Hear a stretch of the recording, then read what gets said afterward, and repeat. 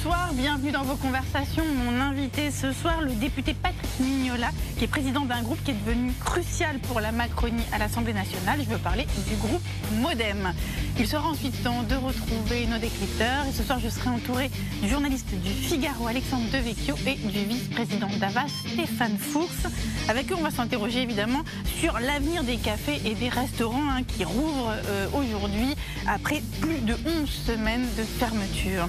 Et on s'intéressera aussi à la façon dont la mort de George Floyd a ravivé l'obsession de la race aux États-Unis. Ce sera ensuite l'heure de la carte blanche antique, s'il vous plaît, de l'écrivain et directeur adjoint de la rédaction du Point, Christophe Onodidio, qui n'aime rien tant qu'éclairer l'actualité à la lumière de l'Antiquité. Et on terminera avec les pépites dénichées avec malice toujours par Nicolas Domnac. C'est parti.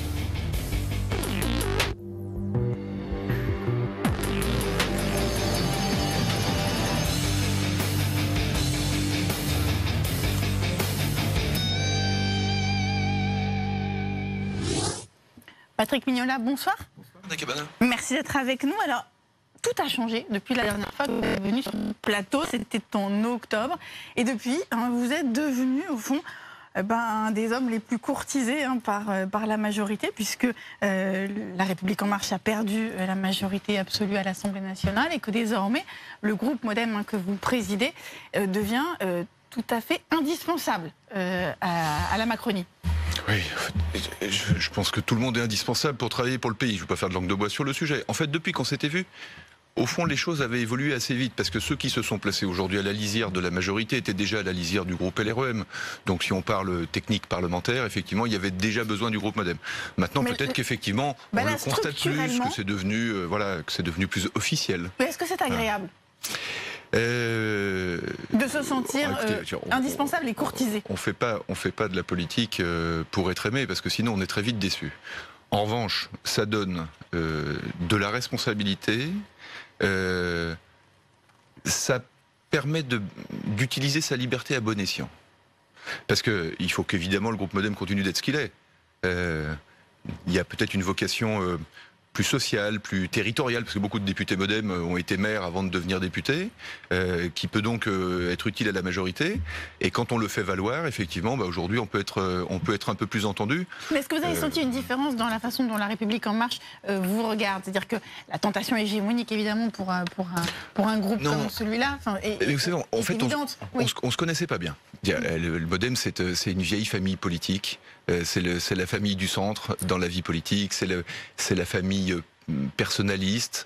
Euh, euh, c'est cette famille, au fond, qui avait, qui avait pas tellement voix au chapitre, parce que depuis Valéry Giscard d'Estaing, au fond, la grande famille du centre n'existait pas dans la vie politique française, qui était forcément binaire, parce que le second tour de la présidentielle est forcément avec deux candidats. et je pense que ça manquait, pas pour que le centre existe, euh, mais tout simplement parce qu'on a besoin d'une diversité. Une démocratie, c'est une diversité, c'est la capacité de faire des coalitions. Vous dites que vous ne connaissiez pas bien, parce que là, euh, c'était un jeune mouvement euh, qui n'était pas, enfin, pas habitué, au fond, à, traiter avec les façons de l'ancien monde, pour le dire, dire sommairement. Mais en fait, d'abord, il nous connaissait assez peu, parce que c'était le mouvement qui était issu du président de la République. c'était très important pour un groupe de 320 députés de s'organiser d'abord lui-même. et puis, chacun doit apprendre dans ce système de la Ve République qui n'est quand même pas fait pour ça habituellement, euh, à composer avec les autres. Or, la promesse du président de la République, c'était de parvenir à faire travailler des gens différents ensemble. Donc là, grâce à cette perte de la majorité, eh bien, cette promesse peut être enfin exaucée. C'est ça que vous nous dites. Mais je, je pense même que notre devoir, c'est de veiller à ce que la majorité fasse vivre sa diversité comme une richesse, et que plutôt que trop se regarder elle-même, parce qu'elle se suffirait à elle-même, elle soit capable de s'élargir. Parce qu'elle ne se suffit plus à, à sa droite et à sa gauche. Alors justement, on va, on va, est-ce que vous faites partie de ceux qui, qui prônent un virage social et écologique dans le temps qui s'ouvre aujourd'hui il y, a une, forme d'évidence de toute façon pour tout le monde, et alors quasiment sur tous les chiquiers politiques, sur un certain nombre de communs. Voilà, euh, tout le monde est d'accord pour qu'on fasse une relance keynésienne parce qu'il faut rattraper le temps perdu dans le confinement. Tout le monde est d'accord pour qu'il y ait de la relocalisation industrielle. Tout le monde est d'accord pour qu'il y ait un virage écologique. Moi, je pense qu'il faut qu'on fasse très attention parce que. Mais tout le monde est euh, d'accord pour dire que c'est pas forcément Edouard Philippe qui pourra incarner ça euh, à Matignon. mais, vous savez, en fait, si aujourd'hui on reprend les réflexes anciens et qu'au moment où le pays est en difficulté et où la majorité est en difficulté, ça sert à rien de se dire autre chose. Euh, on, essaye de retomber sur, euh, sur nos appartenances, euh, sur, nos, sur nos chemins culturels et politiques précédents, en disant il y aurait fallu être plus à gauche ou il aurait fallu être plus à droite. Je pense qu'on perd le sens de la promesse qui avait été faite par cette majorité, et puis l'intérêt du pays. l'intérêt du pays, c'est de, hein. de, réussir. Mais un nouvel élan, un nouveau souffle, une façon de, repartir. Est-ce que ça suppose un changement de, du locataire de, de l'hôtel Matignon? Alors moi, je pense que ça nécessite un changement de modèle on a une opportunité absolument extraordinaire. Parce que ça, le président de la République l'a dit, que de toute façon, ça, avait été changerait le modèle. On avait été élu pourquoi? Pour remettre ce pays en mouvement et que, retrouvant de, la richesse et de la créativité, on soit capable de prendre les bons virages numériques, écologiques, euh, sociaux. Bah, peut-être que le président de la République aura l'occasion de faire deux mandats en un, et que euh, maintenant que le pays va se remettre en mouvement, parce que moi je crois qu'il va se remettre en mouvement, ben on va pouvoir prendre ces bons virages. Et finalement, on a resserré. Donc, euh, est-ce que ça peut se faire avec les mêmes? Moi, au fond, je crois que oui. Avec ça, les mêmes? Ça peut se faire avec les mêmes personnes, ça peut se faire avec d'autres. Mais la question, c'est l'objectif. C'est accélérer ce pourquoi les Français avaient choisi Emmanuel Macron. Que ce pays retrouve le mouvement, retrouve une dynamique et affronte les grands défis qui sont les nôtres, qui sont bien les défis écologiques et, la protection euh, sociale dans notre pays. En tout cas, le président du parti, de votre parti, hein, le président du Modem, François Bayrou, eh bien, on le sent euh, euh, plus, plus vivifié que, jamais. Il était, il était à la télé ce matin et, clairement, on, l'entend dans cette, dans cette période. Peut-être qu'il pense qu'il peut jouer un rôle. Comme souvent. Ben oui, mais euh, parce que, parce que je pense que François Bayrou, euh, et c'est bien pour le pays, euh, a toujours aimé plus avoir de, de l'influence que des honneurs. Aujourd'hui, il n'a pas envie de revenir au gouvernement. il, préfère peser sur les choix qui seront les nôtres dans les, dans les semaines qui viennent. Oui, mais il pense que ce serait bien de remplacer Édouard Philippe néanmoins. Que, que Philippe soit remplacé lui paraît la bonne, euh, Moi, depuis, façon. Ça fait trois ans que je suis député. Sur, euh, sur tous les plateaux, on m'a dit successivement que euh, Bayrou n'aimait pas Philippe. Puis ensuite que finalement il aimait bien Philippe. Ça, c'est ce qu'on s'était dit d'ailleurs au mois d'octobre dernier. Que maintenant il l'aime un peu moins. écoutez, franchement, ce qui, est, important pour nous. Ce pas une question d'amour ou d'amitié. Le, point, c'était l'analyse politique que, François Bayrou fait de la situation, ben, lui fait penser à lui, peut-être pas à vous, et eh bien que pour, pour incarner ce, nouvel élan, il faudrait un autre, le, un, autre locataire de Matignon. Le point de situation du pays aujourd'hui, c'est qu'on doit tenir la promesse qu'on avait faite aux Français. Et on a vécu des crises terribles. L'affaire Benalla, euh, les gilets jaunes, euh, la crise sociale des retraites, aujourd'hui la crise du Covid. Euh, c'est un quinquennat qui fera date dans l'histoire des difficultés qu'a pu connaître un gouvernement. Mais raison de plus pour que le pays euh, sorte de cette crise en étant meilleur après qu'avant. Et au fond, c'est pourquoi C'est pour ça qu'on a été élu. Là, on est au jour 1 de la phase 2 hein, du déconfinement, puisque euh, les cafés, les restaurants, n'est-ce pas, ont ouvert aujourd'hui, seulement les terrasses en Ile-de-France. Est-ce que vous avez eu le temps de prendre un café en terrasse aujourd'hui? Oui. Oui. Je l'ai fait, je l'ai fait dès ce matin. Et, c'est fou d'ailleurs, c'est un peu, on, dit toujours au fond que le euh, que le bonheur se reconnaît au bruit qu'il fait quand il s'en va. Dire, on, avait oublié que ces plages de liberté, ces plages juste agréables de vie sociale, euh, on pourrait les retrouver. Euh, c'est bien, profitons-en. Faut savoir, faut savoir profiter de l'instant. Pensons aussi que dans les mois qui viennent, on va avoir des devoirs parce que la crise économique est devant nous. Les Français l'ont réalisé. Moi, je constate d'ailleurs sur le terrain euh, qu'il y a beaucoup d'optimisme euh, chez les Français. Ils se disent qu'on peut s'en sortir, euh, qu'on peut s'en sortir ensemble. Alors que la récession attendue, en moins 11% au lieu des moins 8% annoncés ben initialement. On va écouter le ministre de l'économie et des finances, Bruno Le Maire, qui n'est pas tout à fait optimiste. Hein. Il en appelle à la solidarité collective, à la mobilisation des Français. On l'écoute. Le chiffre qui va être présenté au Conseil des finances publiques, c'est moins 11% pour l'année 2020 pour la croissance française. C'est un chiffre qui n'a pas d'équivalent dans l'histoire moderne de la France. C'est un chiffre qui marque la brutalité de cette crise économique que nous avons eu à vivre.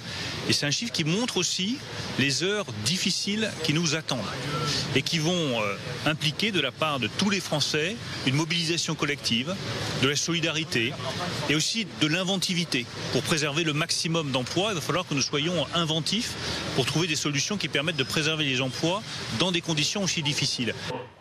Voilà. Patrick Mignolet, est-ce que l'avalanche de licenciements, elle est évitable, là, dans les, dans les semaines et mois qui oui, arrivent je, oui, oui, je crois qu'elle est évitable. On a une augmentation du chômage parce qu'il y a moins d'embauches qui se font, évidemment, puisque le- les entreprises sont tout juste en train de reprendre. Euh, il faut qu'on reste dans cette période où, où on sauvegarde les emplois euh, au maximum, et donc il faut qu'on éteigne très progressivement le chômage partiel. Il faut qu'on continue de, garantir les capitaux des entreprises. Il faut qu'on on lance de- de- des plans de relance sectorisés pour maintenir une bonne activité, parce qu'il ne s'agit pas d'effacer toute une génération dans ses compétences euh, euh, du jour au lendemain. Mais, mais vous savez, c'est ce que nous disions à l'instant, au fond. Les Français, avant la crise, étaient peut-être plus pessimistes sur leur capacité et sur leur pays qu'ils ne le sont aujourd'hui. C'est dans la difficulté euh, qu'ils vont se sentir à nouveau solidaires. Alors il faut qu'on prolonge ça. Parce que c'est ça la responsabilité du politique. Le prolonger, ça Et- veut dire que, parce que là, vous savez que depuis hier, hein, l'État euh, ne prend à sa charge plus que 85% euh, du salaire des personnes qui sont en chômage partiel, Oui. contre 15% euh, désormais pour l'entreprise. Oui, Voilà, ça c'est ça, depuis hier. oui, c'est ça. Et, Et ça va être dégressif. Et, que- ce secteur par secteur, Voilà. on s'adaptera. Par exemple, sur l'hôtellerie-restauration, il faut qu'on revienne à la normale. Ce n'est qu'un retour à la normale, Anna Cavana. C'est-à-dire qu'on a un chômage partiel euh, qui est un système très généreux, et c'est tant mieux, il faut qu'on le conserve ainsi. Et puis, dans les secteurs qui vont redémarrer vite, ben, on reviendra au droit commun. Dans les secteurs qui redémarreront moins vite, ben, on restera à un haut niveau d'accompagnement des entreprises. Mais au fond, il faut que faut qu'on tende la main aux Français qui, qui ont envie de, de rebondir ensemble. Ils sont Euh, inquiets, parce que je ne sais pas si vous avez vu une enquête IFOP euh, pour le cabinet Nocom qui a été dévoilée par le Parisien hier. 79% euh, des Français considèrent que la crise économique est la plus grande menace qui pèse sur la France aujourd'hui, euh, contre 21% seulement hein, pour le, le Covid. Donc c'est-à-dire que l'inquiétude a grandi et, et et elle s'est cristallisée sur le- Et il y en a sociale. presque autant qui pensent qu'on va s'en sortir. Et donc, simplement, il faut les intéresser à ça. Mais au sens euh, premier du terme, et un de nos combats d'ailleurs, c'est de dire que la clé, elle sera pas seulement dans des objectifs économiques et financiers, elle sera évidemment dans le virage écologique, mais surtout, la clé, c'est qu'il faut qu'on fasse vite, parce que chaque jour qui passe endette un peu plus nos enfants, et qu'il faut qu'on fasse tous ensemble. Et donc, euh, nous, on se bat depuis très longtemps pour que euh, le- la rémunération du travail dans ce pays soit meilleure, qu'on se pose la question des salaires, d'un meilleur équilibre entre le capital et le travail euh, de- dans chacune des entreprises. Et si demain, on, on- on dit aux Français que nous allons généraliser l'intéressement, au même titre que le général de Gaulle avait créé la Ça, participation. c'est ce qu'a dit Gérald Darmanin que- dans les colonnes du journal du dimanche. Ça, ça- ça vous paraît intéressant comme piste Exactement. Ah, mais c'est même. Oui. euh, Nous avions proposé avec les, les présidents de groupes centristes de l'Assemblée et du Sénat qu'on généralise l'intéressement il y a quelques mois. Donc, Euh, en fait, nous Gérald avions eu un succès. euh, Darmanin vous a euh, écouté. un succès courtois ou d'estime. Euh, dire, Mais l'important, c'est que moi j'ai entendu euh, François Barouin dire qu'il fallait une conférence sociale. Euh, Après les Gilets jaunes, euh, euh, Nicolas Hulot et, et Laurent Berger l'avaient dit également. Si demain nous pouvons dire aux Français que chaque point de croissance retrouvé, chaque rentabilité recouvrée, chaque rebond économique, euh, ils en seront euh, directement responsables et donc directement intéressés, et que leur salaire augmentera au fur et à mesure que l'économie française se reconstruit, je pense que là, on détiendra une clé pour, euh, pour rebondir plus vite que les autres. Et la question de, maintenir le cap de la baisse des impôts, alors je ne sais pas si vous avez entendu euh, Laurent Berger, le secrétaire général de la CFDT, euh, il dit qu'au fond, il ne faut pas faire de cette question un totem, on l'écoute. Le problème des totems, c'est qu'à force de tourner autour, on ne regarde pas ailleurs. Et on peut avoir des contributions des plus aisés qui s'appellent autrement que l'ISF. Franchement, mais la logique, c'est celle-ci. C'est que les plus grandes fortunes dans ce pays, ceux qui sont, les plus hauts revenus, contribuent davantage. Vous savez, cette, cette crise, elle nous a montré quoi? Qu'on avait besoin de solidarité et de bien commun. Qu'on avait besoin d'un État qui puisse agir. Pas simplement en termes de régulation et de contrôle, mais aussi en termes d'impulsion, d'investissement, de soutien à un modèle social et à un modèle économique. Et demain, j'espère, à un modèle de transition écologique. Eh bien, si on veut ça, il va falloir qu'on se repose la question de comment et qui contribue davantage. Alors ça veut dire, est-ce qu'il faut une solidarité euh, accrue des plus aisés? C'est Alors, ça moi, la je- question moi, je qui est suis posée par avec Laurent lui quand il dit qu'il ne faut pas se poser la question du totem de l'ISF, parce que l'ISF, au fond, et vous savez que nous, on était très réservés sur sa réforme, euh, ça rapporte 3,7 milliards alors qu'on en cherche 500 euh, pour relancer l'économie française. Euh, là où en revanche je diffère avec ce que dit euh, Laurent Berger, c'est qu'aujourd'hui le véritable enjeu, c'est non pas d'avoir une nouvelle fiscalité de prélèvement, mais qu'on ait une fiscalité d'orientation. Ça veut dire quoi concrètement? Ça veut dire qu'aujourd'hui, il y a 1700 milliards d'épargne avec des Français qui ont bien réussi, et c'est pas une tare, et que le but, c'est de leur dire que cet argent doit aller dans l'économie productive, qui doit créer les emplois ou maintenir les emplois de leurs enfants et leurs petits-enfants. Et moi, je préférerais une fiscalité qui dit aux Français, vous avez six mois pour mettre votre argent dans l'économie, Parce que si vous ne le mettez pas dans l'économie, bah, on sera obligé de le taxer à un moment donné, parce qu'il faudra bien financer la relance. C'est plus simple que l'épargne des Français aille dans l'économie des Français et que l'État fasse son devoir, qui est de protéger les Français, les soutenir par la protection sociale et d'investir dans les enjeux numériques et écologiques de l'avenir. On a l'occasion avec cette crise du Covid de redécouvrir l'économie française. On n'est pas un pays qui est très cultivé sur le plan économique. Et là, tout d'un coup, on s'est rendu compte que le pays ne tenait pas quand l'économie s'arrêtait. Eh bien, si on peut inciter les Français les plus aisés, euh, non pas euh, à être à nouveau punis par euh, un coup de masse fiscale, mais à mettre leur argent pour que l'économie française ressorte plus grande, je préfère de loin ça. Moi, je fais partie de ceux qui pensent que pour faire de la justice, entre les grands arbres et les petits arbres, c'est pas en étêtant les grands arbres qu'on rend plus heureux les petits.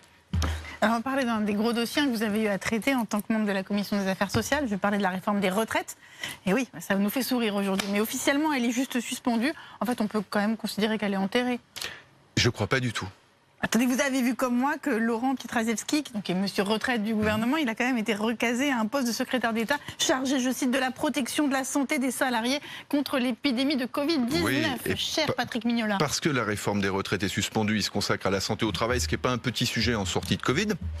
Euh, mais, vous, Pensez, qu'une adoption de cette réforme peut être envisagée avant la fin du quinquennat? Alors moi, je ne le crois pas parce que euh, tout ce qui peut faire débat et polémique doit être évité et suspendu. Le président de la République a eu raison de l'annoncer. Pour autant, il y avait deux choses dans les bah, retraites. donc, ça veut dire enterrer Un, comment on assurait euh, l'équilibre financier à long terme Et deux, comment on faisait des avancées sociales.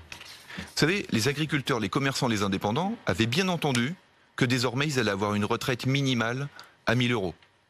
Et ça devait être pour le 1er janvier prochain. Je ne vois pas comment nous pouvons leur expliquer aujourd'hui que cette avancée sociale que portait clairement, est-ce que tout le monde avait identifié la réforme des retraites, on puisse pas y aller. Le fait qu'il y ait 22% de différence de retraite entre les hommes et les femmes, c'est pas parce que le Covid est passé par là et qu'aujourd'hui il faut suspendre la réforme dans son ensemble qu'on n'est pas capable de, qu'on n'a pas la, responsabilité. C'est une question de force politique de, travailler là-dessus. Et, de priorité, parce que eh ben, véritablement l'exécutif va s'emparer de nouveau de cette question. Et eh ben moi je vais après vous avoir, après avoir connu toutes les manifestations. Mais, mais moi je, je, vous dis, je ne suis pas dans l'exécutif. Hmm je vous dis que la question du financement des retraites à long terme, évidemment, se posera plus que jamais dans les deux à trois années qui viennent faisons-en un débat pour l'élection présidentielle, que chacun prenne ah, ses responsabilités. D'accord, vous le reportez quand même Mais sur les avancées sociales, hmm. il faut que dans les mois qui viennent, nous soyons capables de dire qu'il y avait des avancées sociales que finalement plus personne ne conteste aujourd'hui dans cette réforme et que ces avancées sociales, on puisse les réaliser pour les Français. Donc au prochain budget de la sécurité sociale, on soit capable de dire aux femmes, aux agriculteurs, aux commerçants, aux indépendants que euh, leur retraite soit sera meilleure demain. Donc tout ce qui était bonifié par cette réforme, vous voulez que ça rentre en, application tout de suite? Et ce qui posait problème et créait de la polémique, on attend euh, le temps de l'élection présidentielle. Est-ce que j'ai bien résumé? Et ça oblige les, chaque candidat à l'élection présidentielle à venir avec sa solution. Parce ça, ça, diffère le règlement de la question, néanmoins. oui, parce que le, en fait, le déséquilibre financier des retraites, c'est 2025 eh ben, qu'en 2022, chacun prenne ses responsabilités. Plutôt que faire comme la dernière fois, laisser Macron et Philippe faire une proposition et ensuite la critiquer parce que personne avait le courage d'en proposer une alternative. Alors, quand vous êtes venu sur ce plateau la dernière fois, vous nous aviez dit que le sujet qui, auquel vous teniez le plus, c'était l'école. Alors justement, est-ce que, est que vous considérez que le gouvernement a pris la bonne décision en, en rouvrant les écoles donc le 11 mai et selon ses modalités, on ne peut plus strict d'un point de vue sanitaire? Je pense même que les élections municipales qui vont se dérouler le 28 juin se joueront beaucoup plus sur la question des écoles que la question des masques. Les maires ont plutôt bien joué le jeu. Ils ont, ils ont, euh, ils ont, fait, ils ont fait le job sur le, terrain. Le jeu des écoles ou le jeu des masques? Les masques, l'accompagnement de la crise sanitaire, l'accompagnement de la population, l'accompagnement économique, l'ouverture des écoles. Bon, il y a un certain nombre d'entre eux qui ont confondu la distribution des masques et la distribution des bulletins de vote. Qu'ils ne se trompent pas. La question euh, des prochaines élections municipales, ce sera la capacité des maires dans les semaines qui viennent à ouvrir plus largement les écoles. Parce que nos enfants ont besoin d'aller à l'école. Et que leurs parents ont besoin d'aller au travail.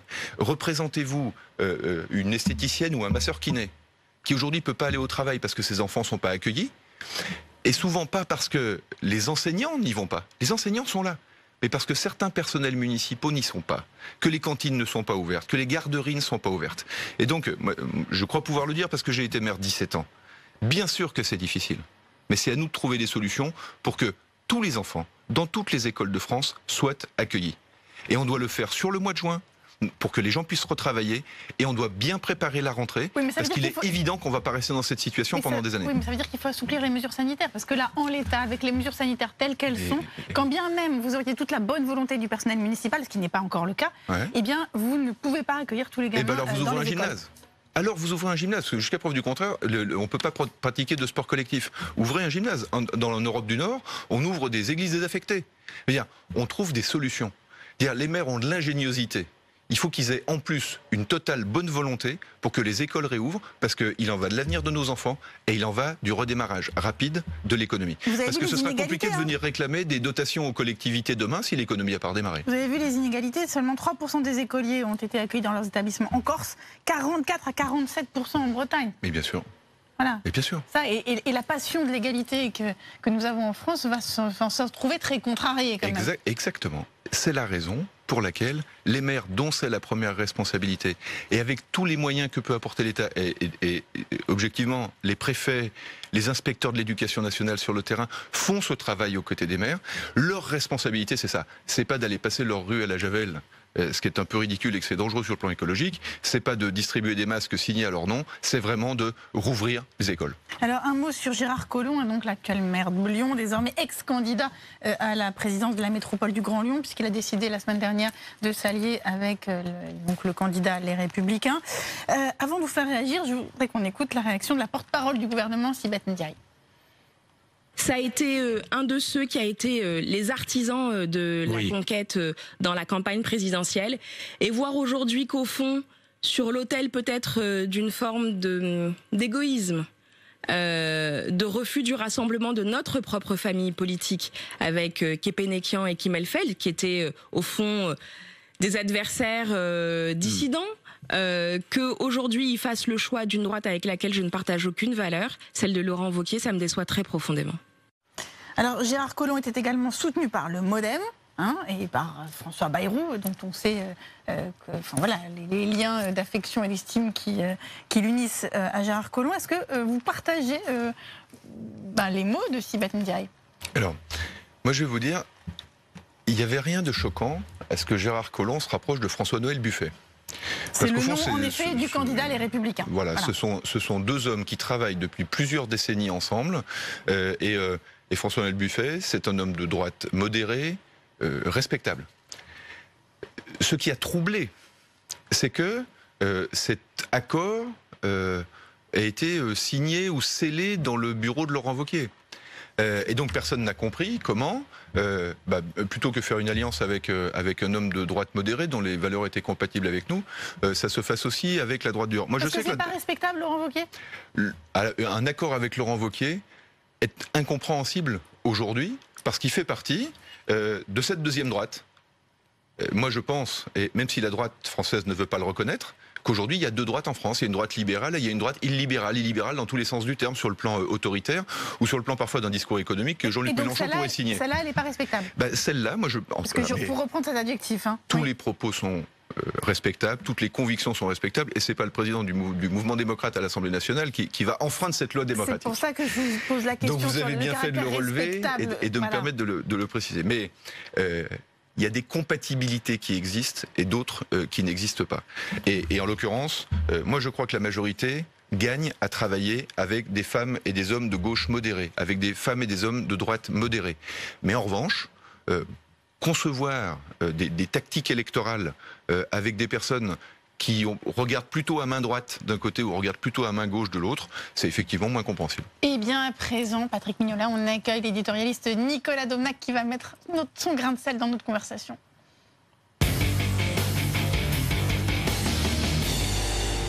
Bonsoir Nicolas, bonsoir. Bonsoir Patrick Mignola. Il faut d'abord que je surmonte l'épreuve du steeple chase, enfin du steeple truc là, parce que c'est pire que Colanta. Il faut arriver à monter. Avant de vous interroger, de vous poser la première question.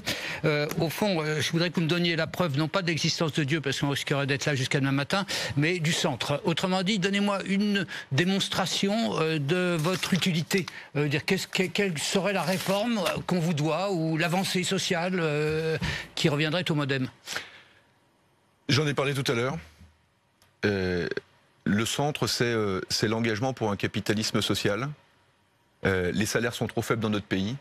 il faut que les Français soient mieux intéressés. Et au fond, un des combats de Bayrou, un des combats du centre depuis toujours, c'est une meilleure répartition entre la rémunération du capital et la mmh. rémunération du travail. Euh, euh, aujourd'hui, nous devons mettre en œuvre l'intéressement pour que les salaires des Français augmentent et nous devons le faire à court terme. Donc c'est à cette aune-là qu'on jugera de votre influence réelle demain oui, et puis c'est surtout, je crois, quelque chose qui serait utile à l'économie française, et que, et que enfin, on, on recorrèle le, travail et la rémunération dans ce pays. Le, grand défaut des 35 heures, c'était quoi?